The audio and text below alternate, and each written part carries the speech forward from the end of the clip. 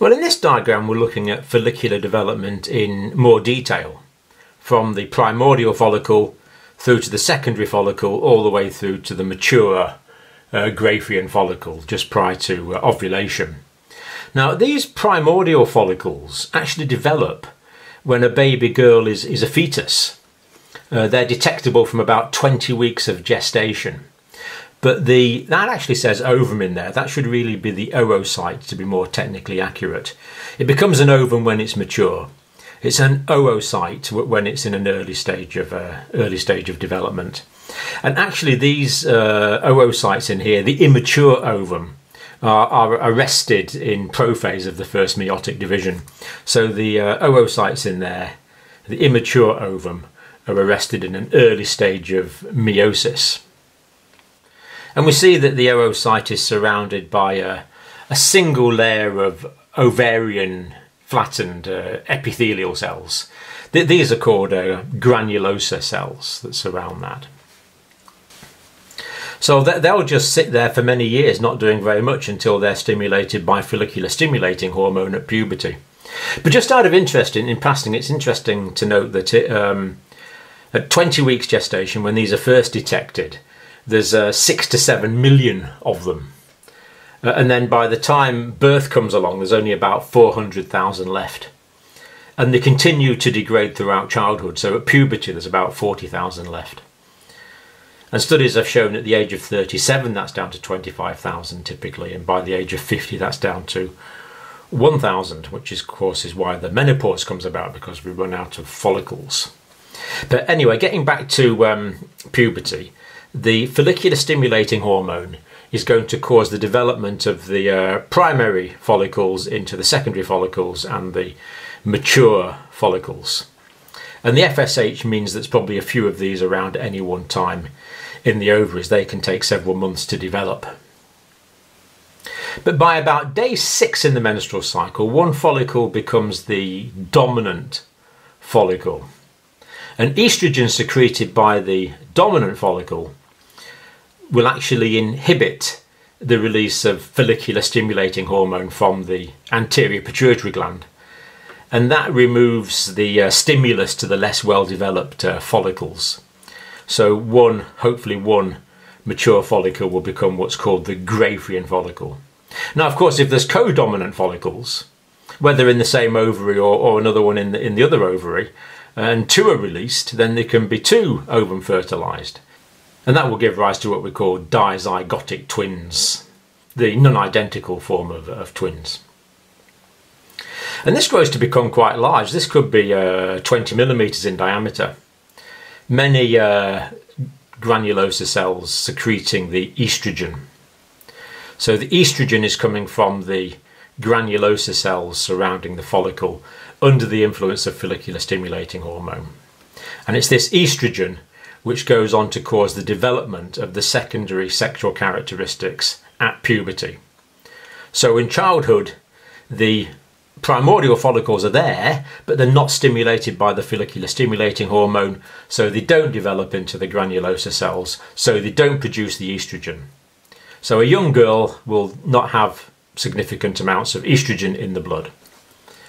But when her follicles start to develop, the follicular granulosa cells will produce the estrogen.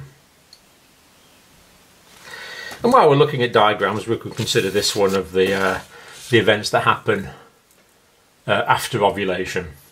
So here we see that um, the ovum is released at the events of ovulation, which would ideally happen at about day 14 of the menstrual cycle. And within a few hours after that, under the influence of luteinizing hormone, so it's the luteinizing hormone that actually causes, it's the actual trigger of ovulation. So everything is prepared here by the follicular stimulating hormone to make the mature Graafian follicle. But the actual final trigger that initiates the process of ovulation itself from the surface of the ovary is the rise in luteinizing hormone. And the luteinizing hormone will also make the granulosa cells change to these luteal cells. And as we see, it's these luteal cells that produce uh, progesterone, primarily progesterone. Now, before ovulation, the granulosa cells produce mostly estrogen, but they will produce some progesterone. And it's the same after ovulation. The luteal cells will produce some estrogen, but they produce mostly progesterone. Progesterone is important for the formation of the ductile structure and the milk secreting cells in the in the breasts. And we also notice it maintains the development of the endometrium during the second half of the menstrual cycle. And actually, the uh, corpus luteal cells produce uh, another hormone called relaxin. Relaxin is produced by the corpus luteal cells. And what the uh, relaxin will do is it will inhibit the contractions of the uterus. Because if fertilization does occur, we don't want contraction of the uh, uterus, which could result in a mis- well, an early miscarriage, rejection of the, the fertilized zygote, and therefore failure of uh, impl- implantation into the developed endometrium.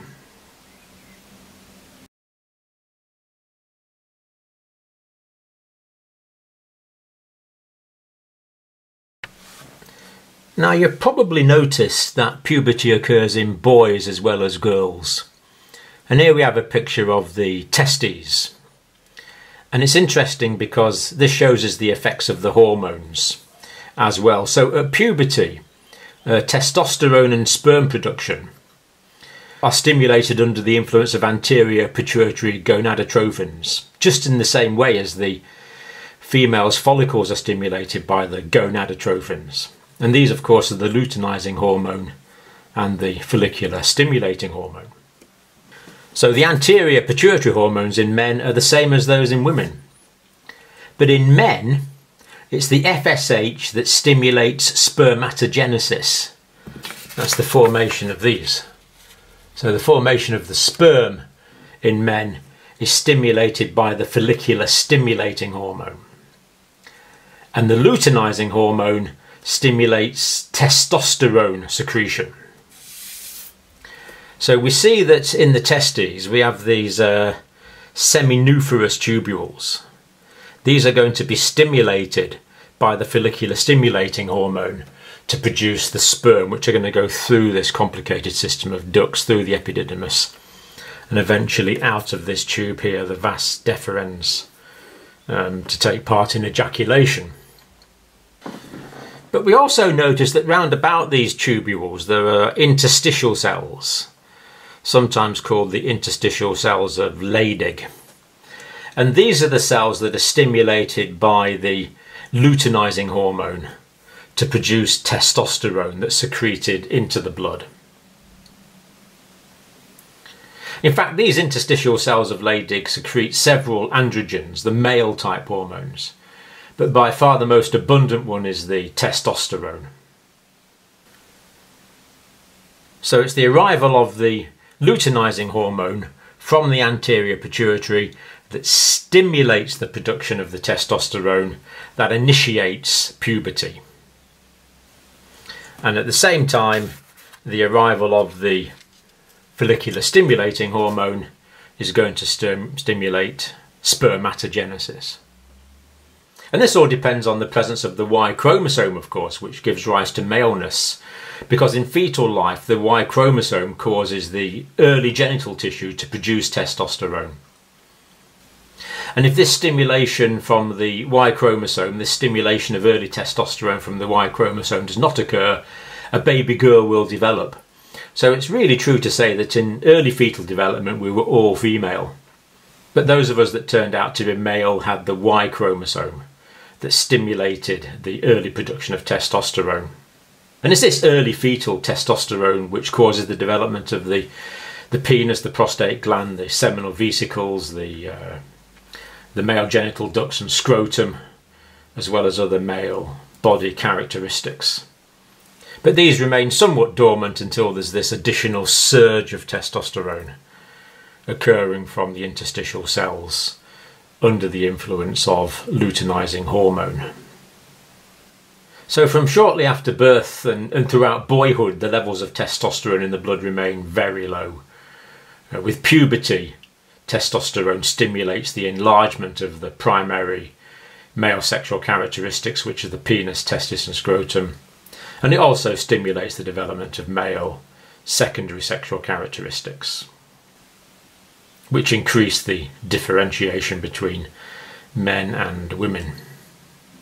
And interestingly, it's actually testosterone which causes the uh, the testes to descend into the scrotum, um, hopefully in late uh, fetal life.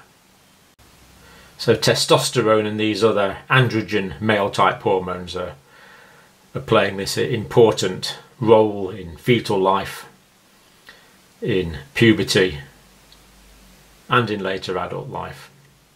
Although after the age of about 50 in men, testosterone levels do gradually start to reduce.